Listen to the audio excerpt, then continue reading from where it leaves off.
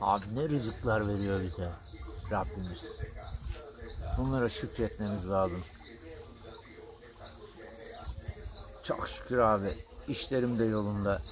Ben her zaman şükrediyorum.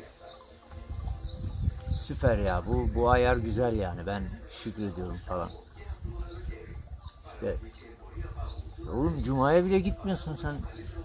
Şükür kelimesini düşürmüyorsun ağzından. E, Cuma'ya bile gitmiyorsun oğlum. Normal namazı da kılmıyorsun zaten. Ya abi işte Allah affetsin işte vakit bulamıyoruz ya. Ya işte bu yoğunlukta falan hani arada gitmeye çalışıyorum da işte bazen öyle şey oluyor ya. Oğlum akşam alkol masasındaydın sen. Ya abi işte bazen şey oluyor ya. Böyle bir kafam git gel oluyor. Allah affetsin. Yani işte falan. La oğlum sen evlisin. iki tane manitan var ekstra. Ya. Ya abi biraz atışıyoruz da evdekiyle böyle bir şeyiz. Ha. Anladım. Ya klasik Türk erkeği işte böyle. İnanıyormuş gibi yapıp benim bir tanıdığım vardı. Oturacağı yeri tanımlarken şöyle derdi. Merkezde ama değil. Orada ben nehirlerin, akan suların durduğunu görmüştüm. Yani. Bu cümle üzerine. Merkezde ama değil. Şimdi bunlar da o hesap yani. Oğlum bak şunu yapıyorsun falan.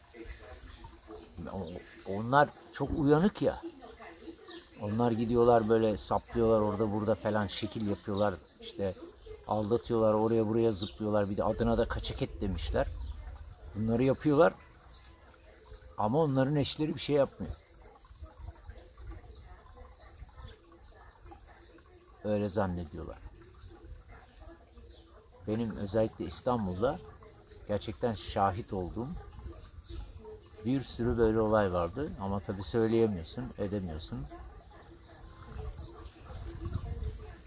Bakıyoruz şimdi inanç zırhının arkasına gizlenenlere bakıyoruz. Nedir bu kesim? Nasıl nasıl bir kesim? Yani bir tanesi var. Mesela en böyle sofu modunda olanlar faize parasını koymuyor. İçki içmiyor. Zina da yapmıyorlar. Ha zinaya bir kılıf buluyorlar bazen böyle işte ya falan bir açık kapı arıyorlar falan başkalarıyla Cübbeli Ahmet gibi bir Rus'la basılmıştı ya. Sonra dediler ki Rus'la bir videosu çıktı onun. Dediler ki ya yok o onun nikahlı eşi siz yanlış biliyorsunuz falan. Sümen altı etti Müslüman camiası. Neden sümen altı etti biliyor musun? E kendi de aynı puşluğu yapıyor. Şimdi bu en üstteki kesim cemaat mensupları bir açık arıyorlar. Mesela hadi cinselliği geç. Yani ne bileyim kardeşini tokatlıyor misal. Evin arsasını alıyor işte falan onları bir şekil yapıyorlar. Kendi kendine fetva üretiyor. Benim çok yakınımda böyle kendi kendine fetva üreten biri vardı. Yakınlık derecesini belli etmeyeceğim. Onunla iş de yapmıştım ben. Size kısaca şu kadarını söyleyeyim. Dünyadaki ekstra bir tane ev için zaten bir sürü vardı. O bir evi daha alabilmek için bütün dünyayı anası babası evlatları dahil içindekilerle birlikte bir Marslı'ya satar. Size inandığım Zeus üzerine yemin ediyorum satar. Ve namazında niyazında bu. Ya mevzu burada işte bakın namaz kılanlar öyle böyle falan mevzusu değil. Mevzu burada ne biliyor musun? Din kisvesi altında kalkan olarak kullanıp arkasına gizlenen bu şerefsiz tayfanın neler yapabileceğine dair gözlemlerim benim. Benim kendi yaşadıklarım. Öyle şeyler gördüm ki arkadaşlar. Yani öyle böyle değil.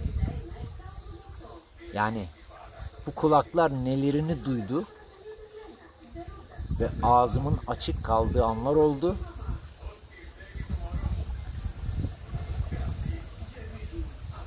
daha önce de bahsetmiştim. Sen inandığını zannediyorsun. Etrafa şirin gözükmek için toplum seni dışlamasın diye tam bir şerefsiz gibi davranıyorsun. Bak sana söylüyorum, sana seni anlatıyorum. Bak şimdi iyi dinle.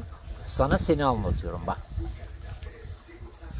Buradan bir çıkarım elde edeceksin muhtemelen. Beni dinleyenler bu dediklerimden bir çıkarım elde edecek. Aa hastiktir lan biz de böyle şeyiz falan diye. Bunu çocuklara özel yayınlayacağım. Onun için bazı argo kelimeler kullanıyorum. Bunun için kusura bakmayın. Şimdi Cuma'ya gitmiyorsun. İşte Cuma farz değil ya. ya oradan yırttık falan. Beş vakit namaz kılmıyorsun. E, içki içiyorsun orada. E, eşini de aldatıyorsun. Faizde de paran var. Borsa bilmem ne oynuyorsun. Yani yapılabilecek ne varsa yapıyorsun oğlum. Yani senin bir gruba girmediğin kaldı lan zaten. Oğlum ona da gir. Mevzu bitsin zaten. Ya Batılıların sizden ders alması lazım. Bu kesimden Batılıların ders alması lazım. Nasıl hile-i şerriye yapılır? Allah nasıl kandırılır? Nasıl saman altından su yürütülür? Nasıl karşılıksız çek yazılır? Nasıl borç alınıp geri verilmez? Nasıl eşini aşağılarsın? Ya sen bak ne kadar şerefsizsin biliyor musun? Bak şu kadarını anlatayım. Bak senin şerefsizliğini anlatıyorum şu bak bak. Senin karın full kapalıyken sen mayo giyip yanında denize girecek kadar kalitesiz bir şerefsizsin. Benim eşim bir dönem kapalıydı. O giremiyor diye. Ben de girmiyordum. Diyordum ki hayır anca beraber kanca beraber. Ama niye kapalıydı? O ailenin baskısı olmuştu biraz falan. Yok benim kafamdan değil. Ben asla öyle bir şey istemedim. Mecburdum o dönem. Ekonomik özgürlüğüm yoktu. Hata var mı? Var. Elbette var. Çek git o zaman hayatını yaşa. Hata var işte. Gençlik her neyse. Anyway. Şimdi bunu yapıyorsun. Eşin orada kapalı güneşin altında kıvranıyor. Sen mesela benim bir tane tanıdığım vardı böyle şortlarla geziyor. Tamam mı? Eşi böyle yüksek mertebede falan filan. Kendi yanında şortla geziyor. Eşi kapalı. İşte pardüsölü falan. Kendisi böyle işte atletler, şortlar, uzun saçlar, işte küpeler falan filan. Oğlum sen de az bir uz bir şerefsiz değilsin ya. Sen istediğin hayatı, giyimi, kıyafeti eşine göre uydurmuyorsun. Onun uydurmasını istiyorsun ama sen ona uyum sağlamıyorsun. Yani nasıl inanıyorsunuz siz? Ben sizin bu saçmalıklarınızı, şerefsizliklerinizi görüp de deist olmadım. Ben öyle kalitesiz bir argümana sığınmam ben. Çok kalitesiz, gereksiz bir argüman bence bu. Ben kendime bakarım. Milletin ne yaşadığı beni hiç ilgilendirmez. İbadet ediyor olsaydım da kendi ibadetime bakardım. Muhtemelen camiye de gitmezdim o şerefsizlerin için. Çünkü biliyorum o. Yani hepsinde bir pislik akıyor. Dümdüz yapardım ben işimi. Şu anda da işimi düzgün yapmaya çalışıyorum. Sizi ayıktırmaya çalışıyorum. Bunun içindir bütün çabam. Ya sen inanmıyorsun ki zaten. Bak şimdi senin inanmadığını sana nasıl ispat edeceğim? Bak çok basit. Kur'an üzerinden hani. Namaz kılmadın. İşte oruç tutmadın. Şimdi zina. Bunları yaptın. Gittin bir de zina yaptın arada. E bittin. Yandın sen. E faize paranı koydun yandın. Bak. Bir, şimdi bir beş vakit böyle sofu tayfasında olanlar var. Bir de normal böyle ben ya inanıyorum işte Allah'ıma şükürler. Ne çok şükür abi elhamdülillah. Allah bugünlerimizi bize arattırmasın falan filan. Abi akşam masaja kaçta gidiyoruz falan. Komşusuyla konuşuyor yani. Masaja kaçta gidiyoruz falan. Ulan şerefsiz sen evli değil misin? Ne masajı? Pezevenk. Oğlum nasıl bir götsünüz lan siz? Masaja gidiyor. E onun karısıyla ben e, biliyorum ki başkaları ilgileniyordu zaten.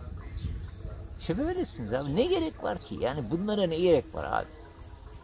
Ben Müslümanmış gibi takılıp da ya şimdi bunun derdi şu arkadaşlar.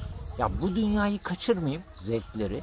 Lan bir kere geldik işte ne olur lan bir masaj yapayım. Orada Taylandlı kız varmış işte ne olur abi bir, bir mutlu sonlu masaj yapacağız ya.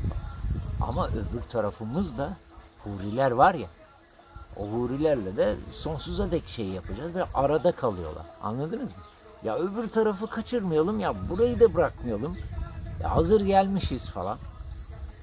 Yani işiniz zor.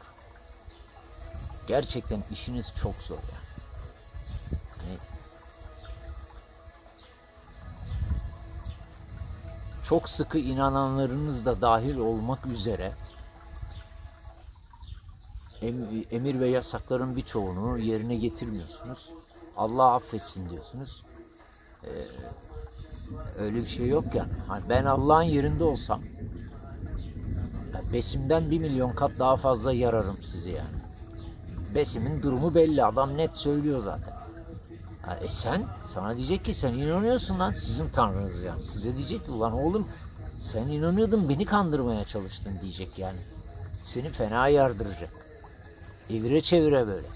Öyle böyle değil ya. Colgate yapacaklar seni. Öyle yok yani ben zina yapayım ya. Allah affetsin falan. Öyle bir şey yok. Düşündüğün gibi, inandığın gibi yaşa. Eyvallah. Ya da şöyle diyeceksin. Ya kardeşim ben yapamıyorum. Ya bu inanç meselesini ben yapamıyorum abi ya. Eşimin de başını açacağım. Biz artık rahatla şerefsizlik yapmayın. Söyleyin bunu bitsin ya. Ve etrafa şirin gözükeceğim diye yaşamayın. Kendiniz olun. İstediğiniz gibi yaşayın sadece. Kimsenin lafına sözüne bakmayın ya. Çünkü eğer buna bakarsanız bu sefer çelişkili yaşıyorsunuz. Yani böyle inandığınızı yaşamamış oluyorsunuz. Ya eylem söylem farklılıkları oluyor. Ya iki arada bir derede kalıyorsun. Saçma sapan durumlar oluyor. Yani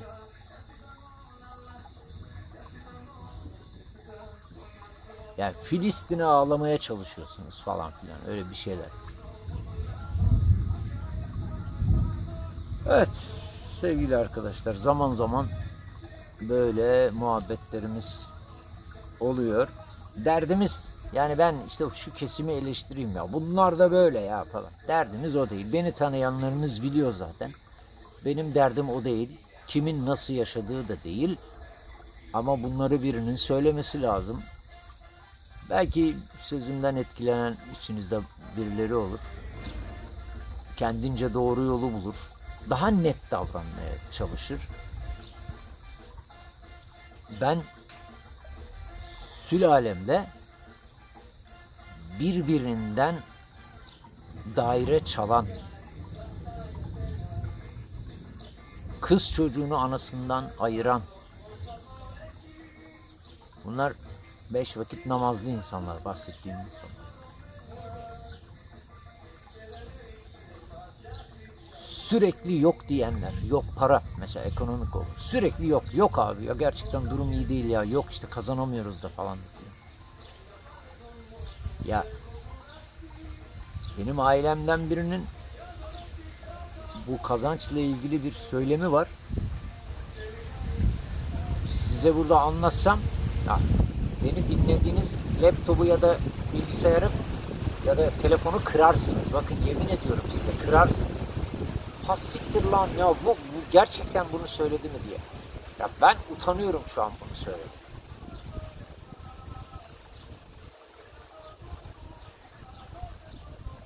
Ya bir kendiniz olun. Başkalarını taklit etmeye de çalışmayın. Çok dikkat çekersiniz. Kendiniz olun sadece. Neye inanıyorsanız düzgün yaşayın ya. Yani çok lafı dolaştırmaya gerek yok ya. Düzgün ve basit yaşayın ya. Bu kadar basit yani. Anladın mı? Ha net olun ya. İnanıyorsan inanın. İnanmıyorsan arada kalma. Saçma sapan hareketlerde bulunma. İnanıyorsan inandığın gibi yaşa. Kimsenin malını mülkünü çalma. Üç günlük dünyadır de böyle mülayim ol yani. Mülayim herkes de desin ki ya o adam ne kadar mülayim, ne kadar cömert biri desin mesela. Cömertlik güzeldir. Buradan cömert arkadaşlarıma selam olsun. Sizleri öpüyorum. Hoşçakalın.